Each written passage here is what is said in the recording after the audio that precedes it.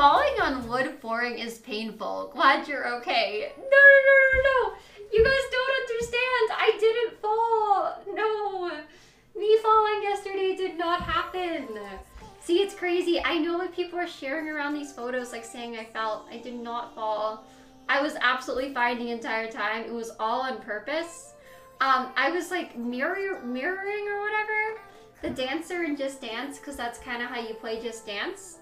And part of the dance towards the end is like you literally get on the ground. So yeah. Sorry guys, I think I have like hair in my mouth. Uh. But yeah, no, that's it's part of the dance. Um I was just like literally following along with the dancer. No falling happened last night. I'm totally fine. So yeah. She was just embracing the floor. Exactly. It's like besides